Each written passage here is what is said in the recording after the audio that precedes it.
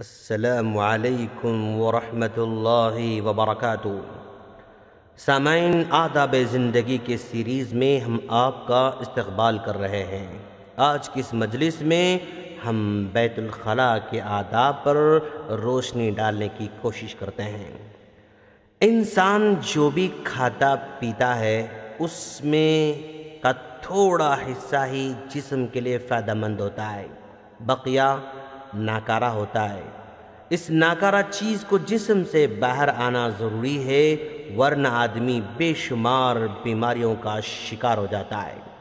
اللہ تبارک و تعالیٰ کا بندے پر بہت بڑا احسان ہے کہ وہ دن میں وقفے وقفے سے ناکارہ چیزوں کو باہر لاتا ہے تاکہ بندہ بیماریوں سے بچا رہے۔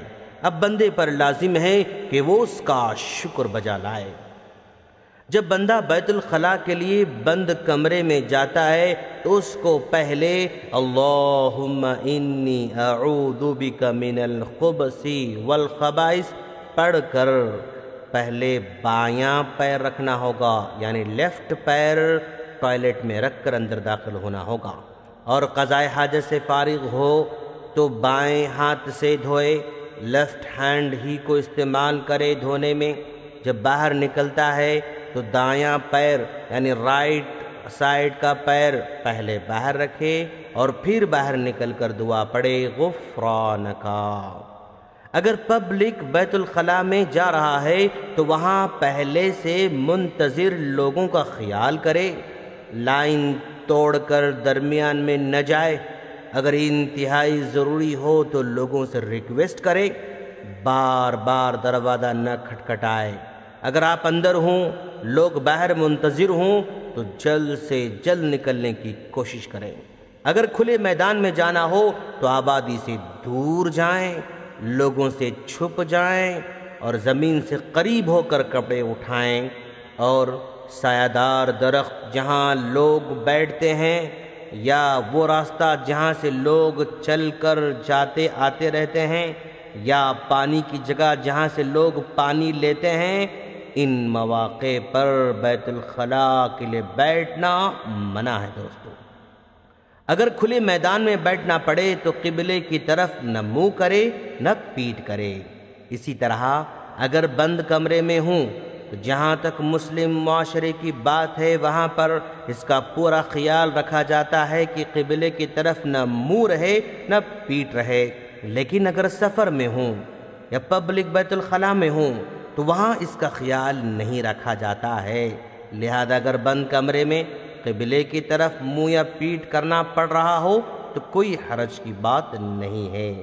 اس بات کا خیال رہے کہ بیت الخلاء جاتے وقت آپ کا آپ کے ساتھ قرآنی آیتیں نہ رہیں۔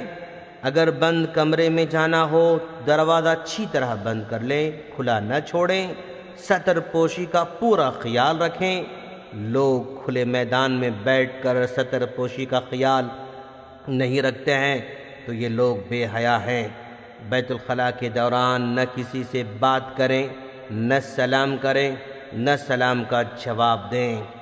جب بیٹھیں تو پیشاب کی قطروں سے مکمل بچے رہیں، کیونکہ عذاب قبر اسی احتیاط نہ کرنے کی وجہ سے ہوتا ہے۔ اگر کسی وجہ سے بیٹھ کر پیشاب کرنا ممکن نہ ہو، تو کھڑے ہو کر کرنے میں کوئی حرج کی بات نہیں ہے۔ بشرطے کی قطروں سے محفوظ رہیں۔ اس لیے کہ ایئرپورٹ پر یا ریلوے اسٹیشنوں پر، بس اسٹیشنوں میں بیٹھ کر پیشاب کرنے کی سہولت نہیں ہوا کرتی ہے۔ لیکن ایسے موقع پر پبلک ٹوائلٹ کا استعمال بہتر ہوتا ہے، جہاں بیٹھ کر فارغ ہو سکتے ہیں۔ اور پانی کا بھی استعمال کر سکتے ہیں۔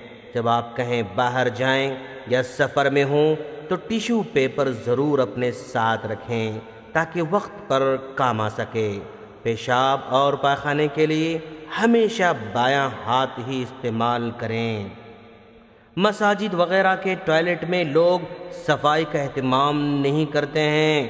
فارغ ہونے کے بعد اچھی طرح پانی بہائیں۔